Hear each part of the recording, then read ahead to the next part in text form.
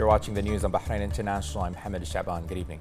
His Majesty King Hamad bin Isa Al Khalifa received at Safriya Palace in the presence of the Minister of the Royal Court, Sheikh Khalid bin Ahmed Al Khalifa, the President of the Constitutional Court, Sheikh Khalifa bin Rashid bin Abdullah Al Khalifa, the Deputy President of the Supreme Judicial Council, and President of the Court of Cassation Advisor Abdullah Al Buainain, and Attorney General Dr. Ali bin Fadl Al Buainain, who congratulated His Majesty on the occasion of the last 10 days of Ramadan, wishing His Majesty abundant health and happiness in the kingdom and its people's safety and security. His Majesty the King exchanged with the guests congratulations on the occasion, wishing them many happy returns. His Majesty the King expressed thanks and appreciation to the presidents of the judicial authorities for their sincere efforts and dedicated work to serve the country and its people, affirming the vital role of the judicial authority in bolstering the principles of justice and equality and protecting rights and freedoms. His Majesty asserted that Bahrain will continue its approach and noble humanitarian message of establishing the values of tolerance, justice, equality, peace, and coexistence, wishing them all all success. His Majesty King Hamad bin Isa Al Khalifa received at Safriya Palace in the presence of the Minister of the Royal Court, Sheikh Khalid bin Ahmed Al Khalifa, the Minister of Interior, General Sheikh Rashid bin Abdullah Al Khalifa, the Southern Governor, His Highness Sheikh Khalifa bin Ali bin Khalifa Al Khalifa, the Muharraq Governor, Salman bin Isa bin Hindi, the Capital Governor, Sheikh Hisham bin Abdul Rahman Al Khalifa, the Northern Governor, Ali Al Asfour, who congratulated His Majesty on the occasion of the last 10 days of Ramadan, praying to Allah the Almighty for many happy returns and for progress and prosperity for the kingdom. His Majesty exchanged the congratulations, wishing the guests many happy returns and thanking them for their sentiments. His Majesty the King expressed thanks and appreciation to the Minister of Interior and all the ministry's affiliates, hailing the awareness, contributions and initiatives provided by the governorates which enhance national efforts to mitigate the spread of the coronavirus. His Majesty expressed appreciation for the governorate's role in increasing communication with all segments of society and in holding events and programs that contribute to establishing national belonging and the values of loyalty and citizenship. His Majesty asserted that with unity, Bahrain will be able to overcome this exceptional stage and to contain the pandemic, wishing all success.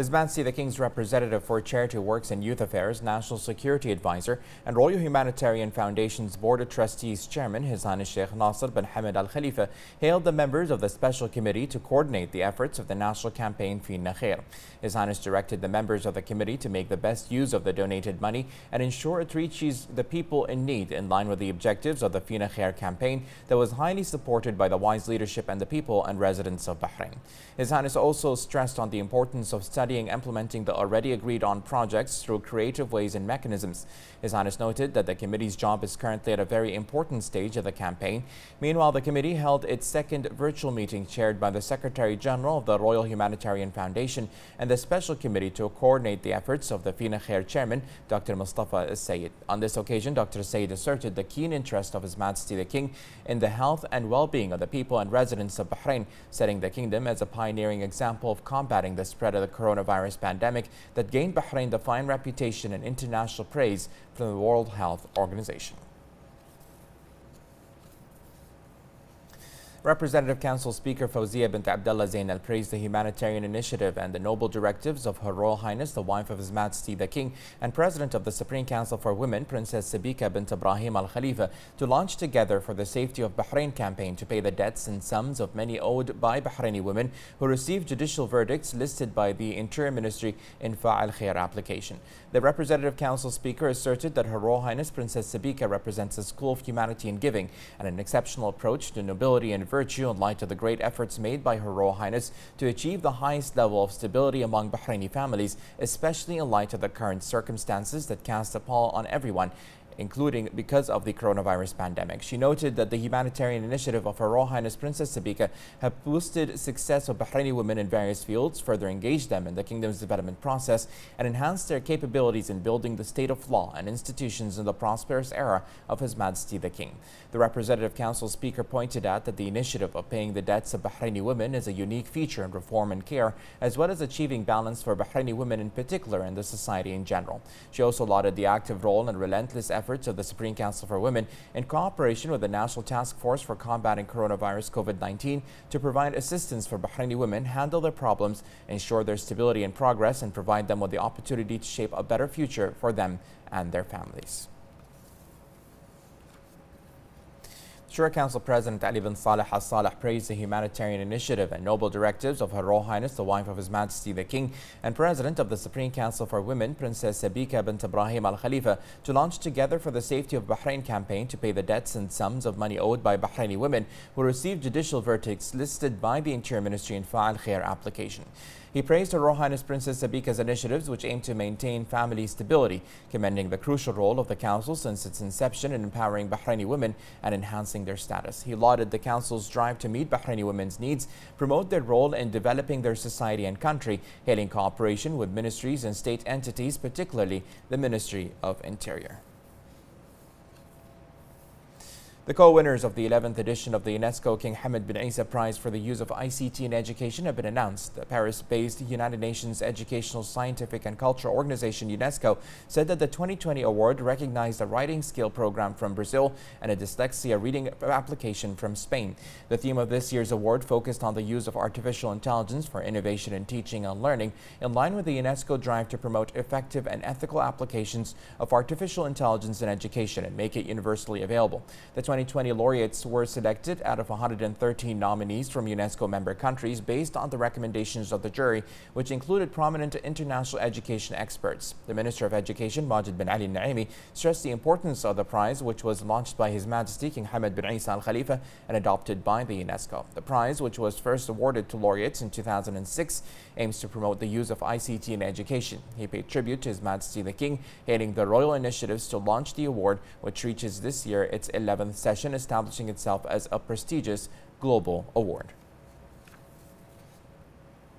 The Minister of Education, Majid Naimi, participated in an extraordinary virtual meeting of ministers of education of member states of the Islamic World Educational, Scientific and Cultural Organization, ISESCO, which discussed the situation of educational institutions under the conditions of the ongoing pandemic. The sessions of the conference also discussed experiences of returning to school, the role of artificial intelligence in developing education programs, as well as ISESCO's humanitarian initiative to form a worldwide alliance to support education. The Minister of Education gave a presentation on Bahrain's experience of conducting education remotely across all public and private schools as well as all higher educational institutions, the ministry's cooperation with the Ministry of Information Affairs along with various other measures. The conference concluded with a statement in which the ministers affirmed their support for the vision of the organization on regarding education as a basic humanitarian right, as well as its commitment to meeting the objectives of sustainable development by 2030. The Ministry of Housing said that it is working on generalizing the new design idea, which was applied to Eastern Hidd project due to the approach's distinctive philosophy that contributed to increasing traffic safety and security in its cities and housing projects. The ministry explained that the concept considers traffic engineering aspects with a focus on changing the behavior of the driver according to a design that seeks to change the way the streets work and contributes to limiting car speeds and encourages drivers to act in a more responsible manner suitable for pedestrians. The ministry also affirmed that the idea influences influences the behavior of people in traffic positively as it works to reduce accident rates and environmental pollution while promoting the culture of walking to contribute to the creation of a healthy and athletic society. Religious leaders who participated in the May 14th World Day of Prayer for Humanity have praised Bahrain's effective participation in the implementation of the initiative launched by the Higher Committee of Human Fraternity to participate in the Global Day of Fasting, Prayers and Supplications for the Good of All Humanity to end the novel coronavirus pandemic. They praised His Majesty King Hamad bin Isa Al Khalifa's welcoming of the global event, noting that His Majesty the King is the first supporter of the values of religious tolerance and peaceful coexistence at the regional and local levels. The participants who belong to many religions lauded His Majesty the King's vision and consolidation of the peaceful coexistence spirit in the world through the launch of the Kingdom of Bahrain Declaration. They also highly valued the efforts exerted by the King Hamad Global Center for Peaceful Coexistence to directly interact with all global initiatives aimed at the solidarity of entire humanity and the exceptional circumstances that have affected everyone. They stress the need for fasting, prayers and supplications for the good of humanity during this day to end the novel coronavirus pandemic as soon as possible. Board of Trustees Chairman of the King Hamad Global Center for Peaceful Coexistence, Dr. Sheikh Khalid bin Khalifa Al Khalifa, said that the center's participation in the 14th May Global Day of Prayer translates His Majesty the King's directives and visions on adopting and responding to all international calls aimed at enhancing solidarity among all human beings.